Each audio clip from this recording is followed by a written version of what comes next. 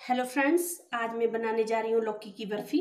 आज मैंने जो लौकी है उसको ग्रीस कर दिया है। अब मैं इसको कुकर में डालूँगी और कुकर को दो सीटी में आने दूँगी। इसके बाद में इसकी बर्फ़ी बनाऊँगी। अब मैं इसको कुकर में लगभग दो या तीन स्टीम आने दूँगी। उसके बाद में मैं बर्फ़ी बनाना शुरू करूँगी। तब तक मैं नारियल को चॉप कर लूँगी।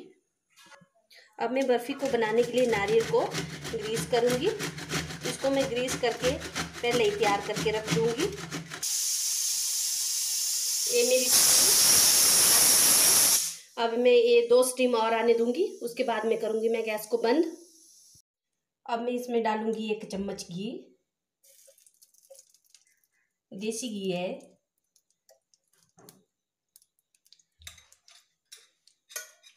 और इसके अंदर जो मैंने लौकी ग्रेट करके रखी थी कुकर में बॉईल करके, उसको फ्राई कर दूँगी।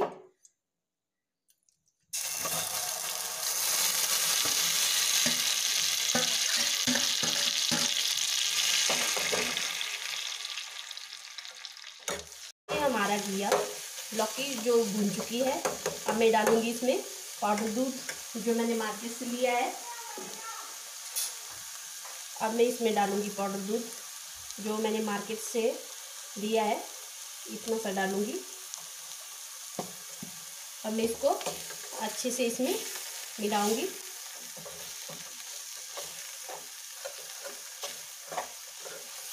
अब इसको चलाते जाऊँगी, जब तक ये अच्छे से मैश ना हो जाए। मिलाते जाऊँगी इसको ऐसे, फिर उसके बाद में मैं डालूँगी इसमें चीनी। ये हमारा मिक्स हो चुका है। अब मैं डालूँगी इसमें चीनी। चीनी अपने स्वाद के अनुसार डाल सकते हैं।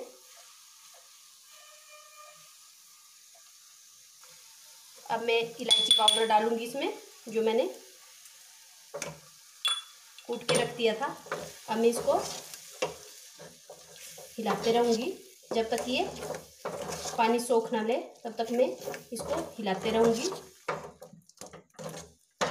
जब हमारा पानी सोख लेगी तो इसका मतलब हमारी बर्फ़ी जो है बनके रेडी हो चुकी है।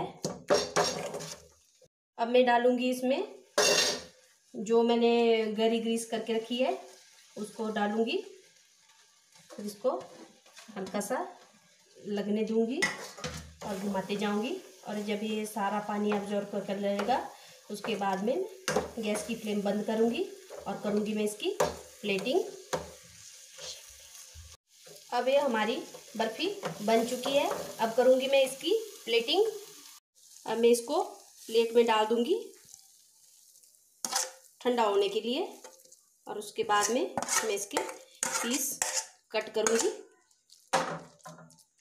इसको ऐसे बराबर कर दूँगी ताकि ये हमारे पीस थोड़े मोटे मोटे हो, इसको मैं बराबर सेप दे दूँगी। फिर रख दूँगी इसको फ्रिज में। कम से कम एक घंटा इसको फ्रिज में रखूँगी, ताकि ये अच्छे से जाम हो जाए। और फिर ये हमारी बर्फ़ी बनके रेडी हो चुकी है। बताना मुझे कि आपको मेरी रेसिपी कैसी लगी? अब ये हमारी बर्फ़ी रेडी हो चुकी है। जाम होके, ये देखिए, कैसी बनी है। बहुत ही टेस्टी और यमी बनी है। आइए, हम सब इसको खाते हैं। Thank you